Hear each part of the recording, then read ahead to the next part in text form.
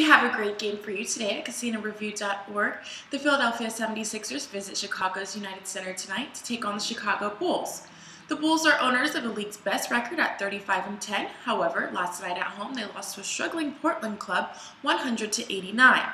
At times the Bulls have had a hard time playing without the services of MVP Derrick Rose. He may not have played for the third consecutive game tonight as he's nursing a sore groin. Philadelphia has also had its problems as of late.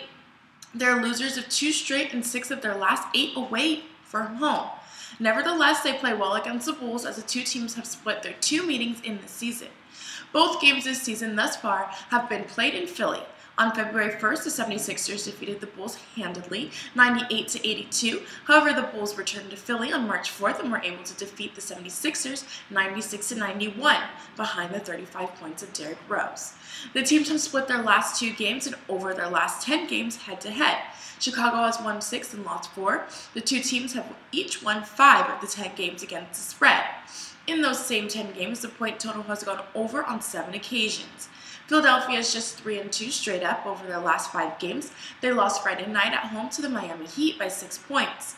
Wednesday night, they lost to the Indiana Pacers at Indiana, 111 to 94. The Bulls are also just 3 and 2 straight up in their last five games. Their two losses were to Orlando and last night to the Trailblazers. Tonight's game has the Bulls as 5.5 point Favorites over the uh, 76ers.